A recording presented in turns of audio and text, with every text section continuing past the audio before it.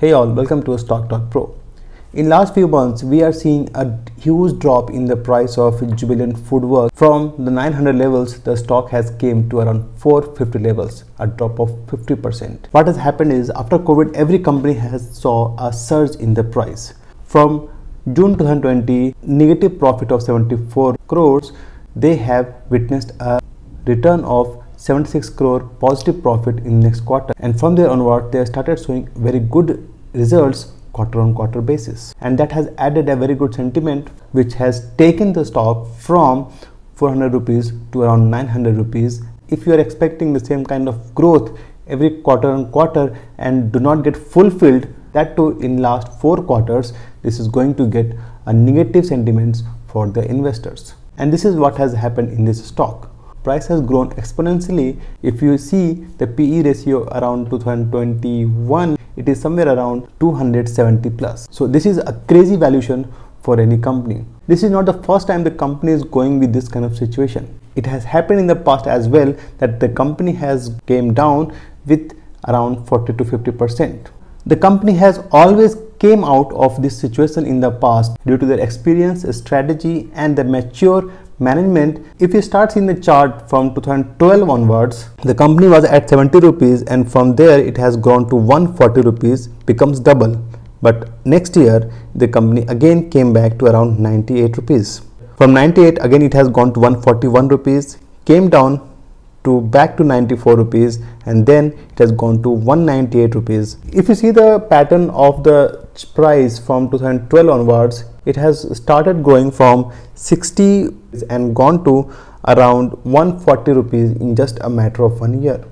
And very next year they dropped to around 87 rupees. And then from there onwards they gone to 191 rupees. From the price of 74 rupees it has grown to 300 rupees in just a matter of one and a half year so if you can see on my chart this company has always gone into this zigzag path and always try to come overcome the situation now what is happening is the company is, is on the same growth path if you understand their main growth triggers are the customers right online and offline so for offline, they have to have multiple stores. They have opened around 73 stores, not only in the tier 1 cities, but in the tier 2 and tier 3 cities as well. Their target is to have more than 3000 stores by 2025.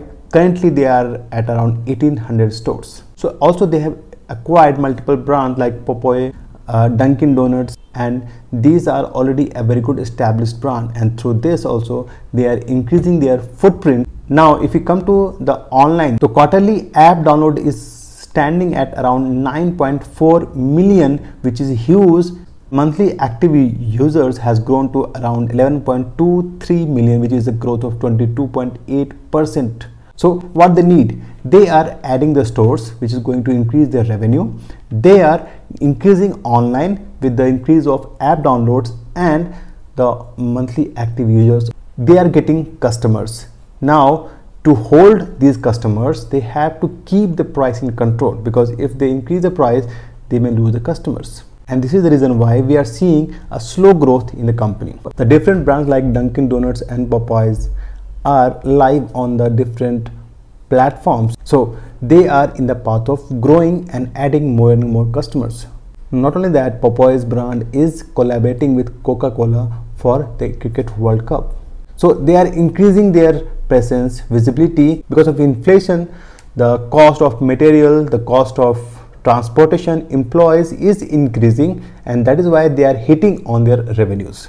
This is not a matter of concern. They know how to manage these situations from past and now they are trying to overcome this and they will overcome very soon because of they have a rich experience in managing these kinds of supply chain and management of customers now they have to deal with the cost inflation which is just a matter of maybe another one year and then the things may start going to be an ease. One more thing is interesting to watch here that india is one of the youngest nation in the world.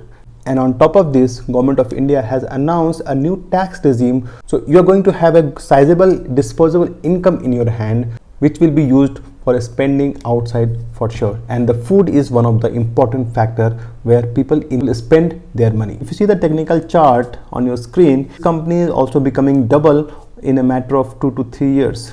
This is a cyclic company with the price changes, the inflation changes, the price goes up and down, but ultimately this company is going in the upward direction. This is just a small correction in the price uh, which was expected because of the high valuation. So mm, there's nothing wrong in these companies. They're just going through a different phase. If you're looking for an investment in this company, this is a good time to start with. We can start adding this company from current levels of 450 rupees and even if it comes down to another 100 rupees there is nothing to worry about because the company is on the path of growth. Targets is open. Short-term target we can expect is around 600 rupees and then 800 rupees. And from there onwards you can expect more from this company. So if you like the in-depth analysis of the company please do not forget to like it subscribe it and share it with your friends and family. Till then thank you so much. Bye bye and take care